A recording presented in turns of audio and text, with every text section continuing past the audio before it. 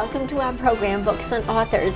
I'm your host, Terri Kelley, and today we're speaking about a book entitled Mary's Mosaic. And the author is Peter Janney. Welcome, Peter. Great to be with you, Terri. Thank you for having me. Oh, it's great to have you here. As I told you, I could not put this book down. It's a sizable book. and I think it took me two sessions to, uh, to read. It was just fascinating. So, why don't you tell us a little bit about who you are, um, your background, and, and how you came to write such a fascinating book? Well, uh, the subject of my book, of course, is a, a woman by the name of Mary Pinchot Meyer. And uh, I grew up in Washington in the 1950s and the 1960s. And I knew Mary Meyer because I knew her family. I was best friends with her middle child, Michael. And Michael was hit by a car and killed, unfortunately, when we were both nine years old. And I lost my best friend. And so it was uh, a very difficult sort of moment in my life, but one of the most fascinating aspects of that grief was how Mary Meyer helped me in particular to deal with that grief uh, in a way that many other adults, including my parents, weren't able to. And so I always had quite an affection for this woman. She was an extraordinary human being, an even more extraordinary woman, and someone who was very different from the rest of the adults that I knew yeah. uh, it, during my parents' age. And of course, my mother and Mary Meyer had gone to college together at Vassar College in Poughkeepsie, New York. And my father and Mary's husband, Cord Meyer, both worked in the Central Intelligence Agency during the Cold War.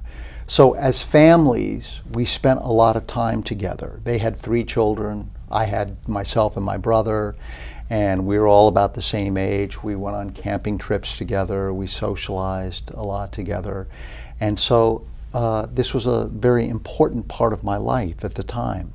Almost an extended family, the Meyers. Yeah, they were. I mean, we, yeah. we, we hung out quite a bit together. And uh, Michael and I went to school together. Our desks were for two years side by side. We were often inseparable. Uh, I was out at their house in McLean, Virginia, quite a bit, and, and he was at mine. We lived about 15 or 20 mi minutes away from one another. So it was, you know, it was an integral part of my life. Yes, and uh, the story is, the book actually is about the CIA and um, conspiracy theories and all the things that happened as you were growing up. It's about the um, death of John F. Kennedy, and a year later, the death of this woman that you were talking about, Mary Meyer, whom you so loved and admired, and she was killed a year after him. Is there a connection? I know that I know the answer, but I'm pretending that I'm the viewer. Is well, there any connection between those two deaths? I, I make the case in the book that there's a very profound connection. And it, it begins with the fact that Mary Meyer knew John F. Kennedy at a very early age. They met uh, when she was 15 years old, and he was probably about 18. Uh, he came back to a prep school dance at the Choate School in Wallingford, Connecticut, where he had graduated the year before. And she was at this dance with another date with someone else. And as soon as uh, John Kennedy laid eyes on her, I think there was sort of a, an instant attraction, an instant yeah. chemistry. And he spent the evening trying to cut in on her on the dance floor and to just find out, you know, who, is this woman that I, I seem to be so magnetically drawn to the interesting thing is that time is that they didn't really connect all that much. I mean, they didn't become boyfriend or girlfriend. They knew each other. Their paths intersected during college and into early adulthood. But it really wasn't until after her divorce in 1957, 1958, that she increasingly started to show up on his radar screen a little bit more frequently. And of course, after he was elected in the fall of 1960, that's when I maintain their intimate relationship likely started taking place just as he was entering the White House in 1961. Mm-hmm.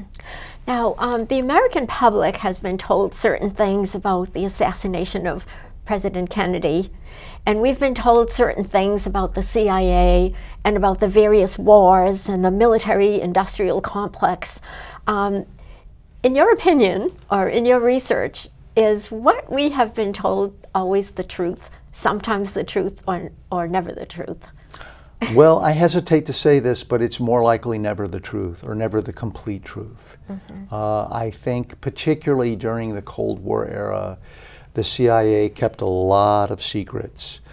Uh, I think as much as one third of our country's history during that period is unknown to us. We, we, yeah. we just don't know. It's buried in, in classified documents, uh, classified uh, arenas of one kind or another. And it, it's unfortunate because a country that doesn't know its own history is destined, I think, to keep making the same mistakes over, over and, over and over again. Yes. Now, when you talk about the Cold War, I wonder if there are some listeners who might not know what that is. Can well, you just briefly explain? Uh, and also the um, the Cuban Missile Crisis. Some people might not know what that is because those are important events in this book. Right.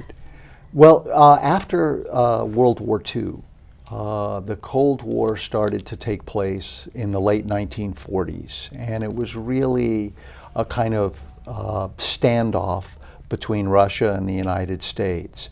And people speak of the Cold War because a hot war would have meant nuclear Armageddon. And because both countries had nuclear missiles, had nu nuclear arms and technology of one kind or another. And of course, a nuclear war would would ultimately render our planet uninhabitable. Mm -hmm. So uh, we, we speak of the Cold War in terms of the tension between the two superpowers in the 1950s and the 1960s specifically, where there was a lot of jockeying going on uh, between the two countries and a lot of crisis, uh, particularly.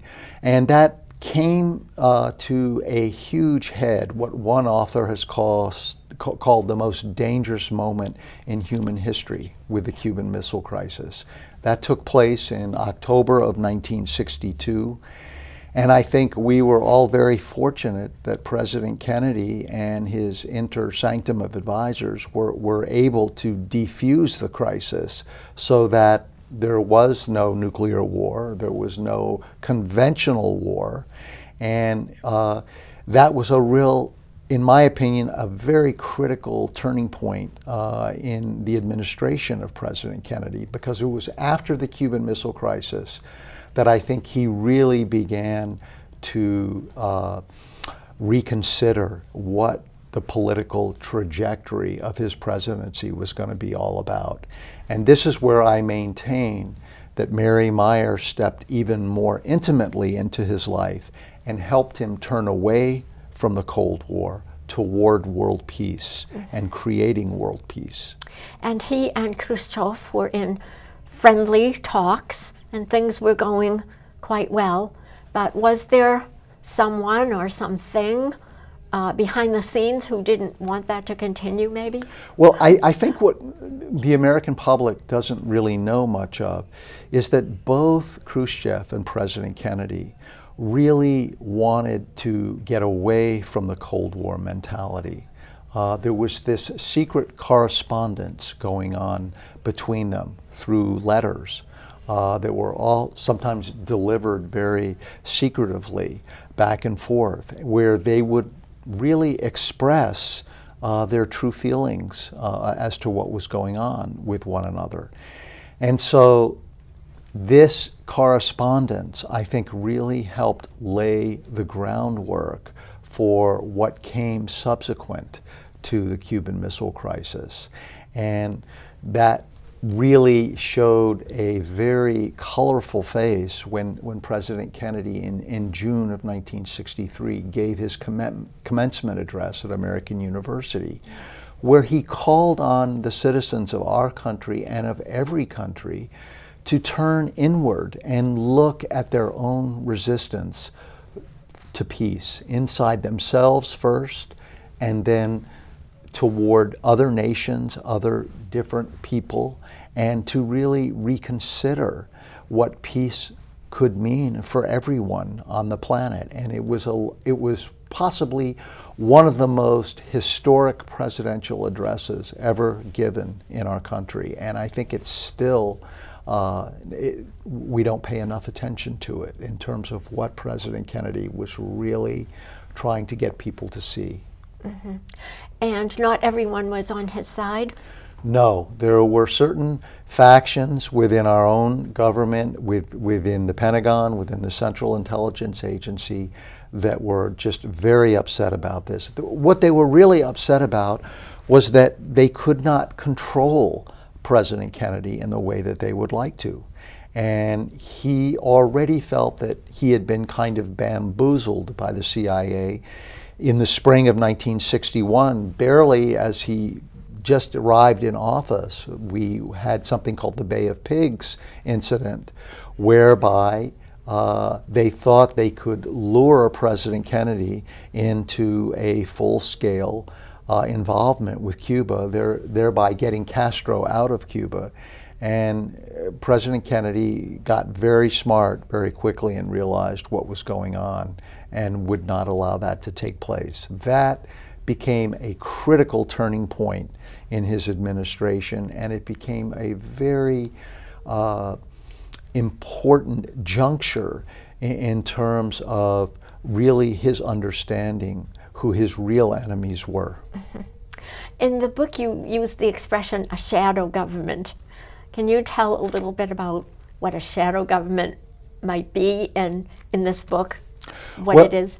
I, I think, you know, the term gets increasingly more and more familiar in our culture these days. But mm -hmm. back then, uh, there really was a, a force within our government, uh, primarily engineered by people like Allen Dulles of the CIA and other members of the top Pentagon brass. Uh, who really were taking a more aggressive, hard line toward Cuba, toward Russia. Uh, they uh, were seriously planning for World War III in the fall of 1963. Um, there were actual plans in, in terms of how that was going to take place. And uh, I think this really uh, was sort of our first uh, glimpse of what the shadow government was attempting to do beyond the will of our president, who, as we all know, the American people elect every four years. Yeah. Um, in this book, there are some very scary things and some very sneaky things.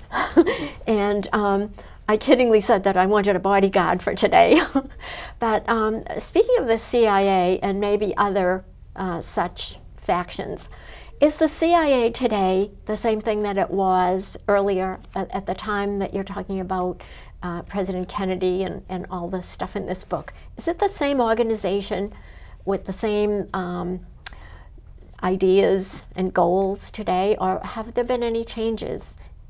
Well, uh, clearly there have been some changes, but I, I, think what your viewing public needs to understand is that during the, the 1950s and, and well into the 1960s, right, right up until the time of Watergate, uh, the, the CIA had no real oversight in Congress.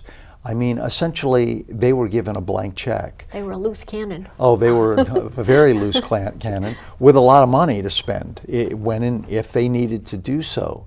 Uh, and anytime anyone uh, wanted to know the truth about something, a, a, senator or a congressman, I mean, all the CIA had to do was holler national security, you know, and we can't mm. tell you that, which was really a dodge uh, to avoid any kind of accountability. Um, when we got into the area of Watergate, the whole Watergate crisis under President Nixon, uh, this is when some of the real dastardly deeds of the, uh, of the CIA started to come out, and it prompted some real subsequent uh, scrutiny on the part of Congress after the Watergate crisis was over. So I, I think in, in terms of today, you know, the CIA is only one part of the national security apparatus, particularly since 9 11. But it still holds a very special place in, in terms of being able to carry out any number of kinds of operations, most of which, I would say 90% of which, the American public really never gets to know about. Yeah, we saw an interesting um, program on television. It was on the Health Channel, and it was about Frank Olson and the way that he died. Can you talk about that a little bit? Um, well, was in the book. Yes, uh, there, there's actually been a great book written about that. It's called A, a Terrible Mistake. It's written by a man by the name of Hank Albarelli. Uh, it's a very well researched book, and I, I, would recommend it in a heartbeat to your, to your viewing public. Uh, Frank Olson had been working at an adjunct of the CIA at Fort Detrick in, in Maryland, whereby he was working uh, with certain uh, substances that the CIA was very interested in, namely the hallucinogen, LSD, psilocybin, other uh, very exotic kinds of drugs. Psychedelic drugs. psychedelic yeah. drugs, to be sure. And so uh, there was concern within the agency that Frank Olson might be becoming a security risk. And so they uh, invited him to a party and uh, surreptitiously gave him LSD when he didn't know he was taking it. And of course, that can be a very frightening experience mm -hmm. for mm-hmm. someone because you would feel when you take a drug that powerful that you are literally becoming unhinged. And so uh, it did drive Mr. Olson into kind of a crisis. He was uh, it, it was revealed to him uh, subsequently what had happened, but in the meantime, uh, they were having him, the CIA was having him reevaluated by several different psychiatrists who had been cleared to do this kind of work. Mm -hmm. And uh, they took him up to New York, and uh, when it was clear that uh, Mr. Olson's uh, personal trajectory was going to change, I think there, he protested and he ended up getting thrown out of a 10th floor hotel window and of course uh, was, was killed by the fall. Right, they um, were trying to pass it off as a suicide, one of many suicides that were occurring. And uh, I think his son was instrumental in proving that the way he fell out the window showed that he couldn't have fallen out or jumped out. He had to have been pushed out. Yes, his son Eric Olson uh, really went on the offensive in terms of wanting to get to the bottom of what had yeah. actually happened. And they, in fact, finally cornered the CIA into coming uh, pretty fairly clean as to what exactly had happened. Mm -hmm. uh, and there was, of course, a, a settlement involved. But uh, it, it still, that incident still remains uh, very uh, indicative of how the CIA can operate sometimes. There, there was a great little saying by someone who was a very uh, highly accomplished CIA asset in the 60s. His name was William Corson. And he told his protege, Roger Charles, once, he said, Roger, anyone can commit a murder, but it takes an expert to commit a suicide. Right. I underlined that in the book. Right. That was fantastic. and and if you read about some of the suicides, it's absolutely incredible. Uh, the planning and the devious activity uh, that went on and what they must have done and how they used one another uh, and, and just hid everything was uh, amazing. it was hard to uncover anything. You did an incredible, incredible job of research And I know you're a psychologist, so understanding human behavior as well as having that background in politics and having a father who was also in the CIA uh, gave you the perfect perspective to do uh, all this work on this book. It's absolutely incredible. And your friendship with Mary and her family, I was as I was reading it, um, it was just amazing how everything came together for you to be able to write such a book. Because I can't imagine um, if you didn't have all this in your background. I can't imagine that you would have been able to do something like this. It's quite a feat. Well, you know, it, it is in, in a way quite a feat. You're, you're absolutely correct about that. And, you know, I, I, I sometimes feel like it was part of my destiny uh, Yeah. to do this, should, should the need for it uh, ha- had evolved. And, and of course it did. You know, I, I didn't even find out about the fact that Mary was murdered until I came home uh, for Thanksgiving in the fall of 1964. She was actually murdered on October 12th, 1964. And I, I was in boarding school in New Hampshire, and I didn't hear, uh, I, I didn't know about it until I came home that Thanksgiving vacation, Wednesday night, the night before Thanksgiving, where my mother just, you know, told me at the dinner table. And as your readers will find out when they read the book, uh, it really, uh, that night sent me into kind of a dark night of the soul, you know, where I wrestled not only with her uh, recent death, but it sort of brought back memories of Michael's death as well. And it, it had an impact on me. I, I think, you know, one way to say it is that her death haunted me for a number of years. Yes. And of course, it wasn't until 1976 that the the public found out through a article in the National Enquirer that she had had an affair with President Kennedy during the last three years of his life. I mean, none of us knew about this until that time. And it was at that particular moment where I began to suspect that uh, we had not been told the real truth of not only what happened to Mary Meyer, but I always suspected that was sort of my demarcation line where uh, I really began to seriously uh, reconsider what we had been told about the, our, the assassination of our president in November of 63. Yeah. What you wrote about the trial um, of the Ray Crump, who was supposedly the killer of Mary Meyer, was fascinating because the trial, well, I won't give away anything, but um, it, it was just fascinating. All the detail and all the work you did dredging all that up. And of course, the attorney was a, an amazing person. Dovey, Yes, Uh, the- she was just astonishing the way Well, she it, that, that's that's a very that's one of the most fascinating I think events of the story because it were it not for this legendary Afro-American attorney Dovey Roundtree, who was Woman. based in woman who was based in Washington D.C.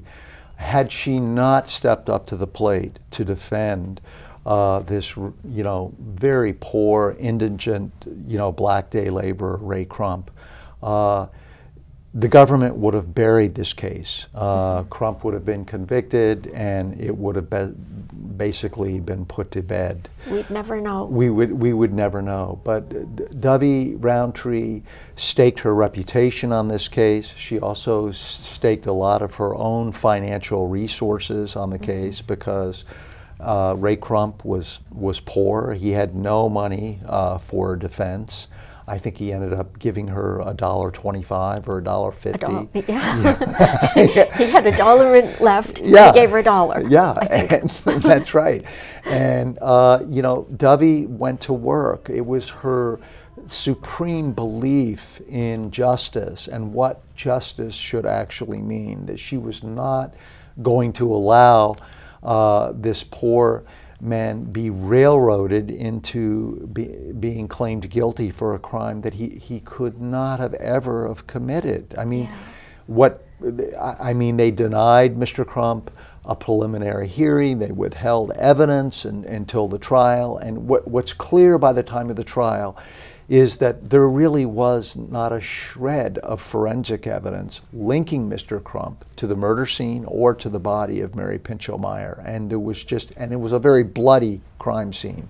Right. Uh, and there's just no way he could have pulled off the kind of stealth aspects of this murder.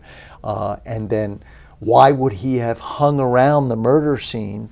for 40 minutes later. I mean, he was literally found by a policeman trying to find his way out of the towpath area, and it was only about 560 feet away from the actual murder scene. I mean, if you'd committed a murder of that kind, magnitude, wouldn't you have wanted to get out of the area? Get out of the way. yeah, as yes. quickly as possible. Well, I mean, reading the way it happened, you know that that it was all a cover up and all a fake, but to find out eventually how it was done, it, if it were if that were the only thing in this book, it would be well worth reading the book just for that uh, knowledge. But that's only one incident, and there are many more and many cover ups, and I wish we had more time. We could talk about more of them.